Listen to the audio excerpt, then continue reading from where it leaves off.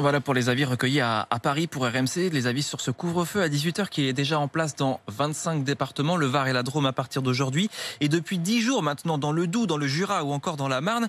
Et c'est une mesure qui semble efficace. Aurélia Manoli, vous vous êtes penché euh, sur les chiffres pour RMC.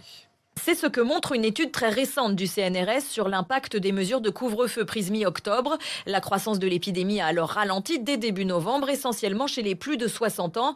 C'est ensuite le confinement qui a réellement cassé la courbe épidémique dans toutes les catégories d'âge. La Guyane est le premier territoire français à avoir expérimenté en juin avec succès le couvre-feu. Appliqué dès 17h, il a permis de considérablement diminuer le taux de transmission du virus d'environ un tiers selon l'Institut Pasteur. Mais il faut rappeler qu'il était combiné à la fermeture des bars et de la frontière avec le Brésil. Pour les spécialistes, globalement, le couvre-feu est une mesure intéressante, mais à laquelle la population finit par s'habituer en se voyant en dehors des horaires de couvre-feu, par exemple, ce qui peut alors réduire sur le long terme son efficacité.